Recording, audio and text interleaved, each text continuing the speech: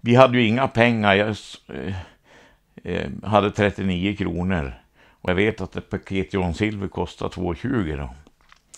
Så att, eh, men vi hade den enorma fördelen och jag måste säga då, och som jag förhoppningsvis tror att det är nu också, var Sandvik eh, nog ett av de bästa företagen i Sverige att, att för en ung pojk få jobb.